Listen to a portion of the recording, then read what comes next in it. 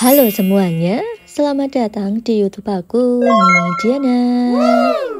Di video kali ini, aku bakal memberikan kalian informasi mengenai Raffi Ahmad yang mundur dari proyek Beach Club Gunung Kidul hingga adanya petisi di sosial media untuk menolak proyek itu guys. Nah penasaran gak dengan hal itu? Kalau iya sini-sini merapat kumpul di sini ya guys. Sebelumnya kalian jangan lupa buat subscribe channel aku dan juga klik tombol like-nya. Terima kasih. Jadi guys, artis papan atas Raffi Ahmad baru-baru ini menyatakan mundur dari proyek pembangunan resort, villa dan juga beach club di Gunung Kidul, Yogyakarta. Dirinya mengunggah video klarifikasi singkat di Instagram karena dirinya sendiri diketahui sedang menjalani ibadah haji sekeluarga guys.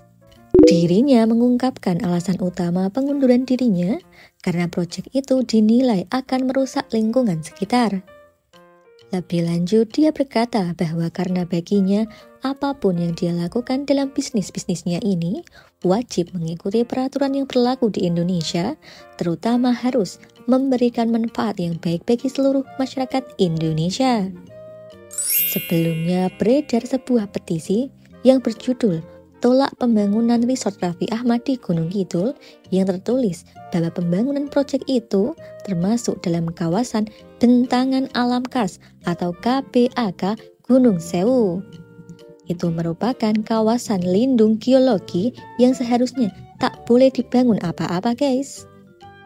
Dan kata Walhi Jogja, dampak negatif pembangunan resort di Gunung Kidul berupa kekeringan, krisis air bersih, kerusakan kars, serta banjir dan juga longsor. Petisi itu pun guys bahkan udah mengumpulkan 129.000 orang yang menyebarkannya.